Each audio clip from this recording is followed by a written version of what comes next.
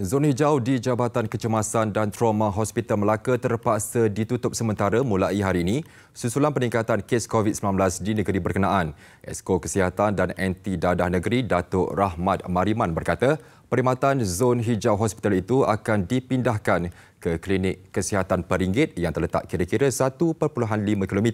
Dari situ dengan waktu operasi perkhidmatan dipanjangkan kepada 24 jam.